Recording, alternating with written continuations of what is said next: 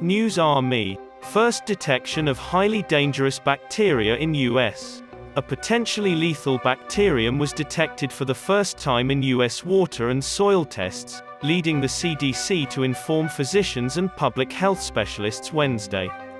Burkholderia pseudomallei was found on southern Mississippi's Gulf Coast. A 2019 research indicated that 1 in 4,600 persons exposed to the bacterium had melioidosis, an uncommon and dangerous condition. 90,000 individuals die yearly from melioidosis, according to the report.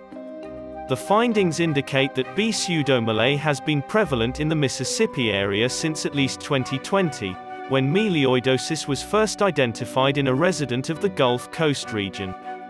The bacterium has been detected in South and Southeast Asia, Northern Australia, and Central and South America. CDC simulation revealed that southern Mississippi's climate was also suitable. Two individuals in Mississippi were diagnosed with melioidosis two years apart, in 2020 and 2022. The anonymous people were not linked, according to the CDC, but lived nearby and hadn't recently been abroad.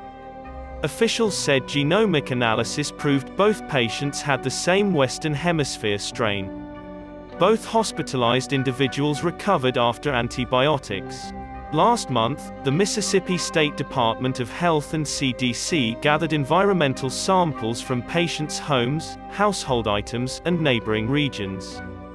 Direct touch or cuts and wounds may infect animals and humans. Officials say transmission risk is minimal.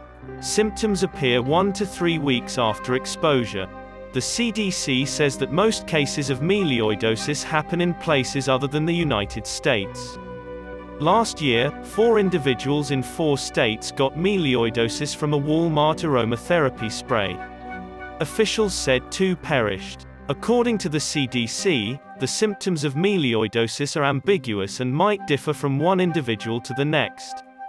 However, some of the symptoms include a fever, chest discomfort, headaches, and localized pain or swelling.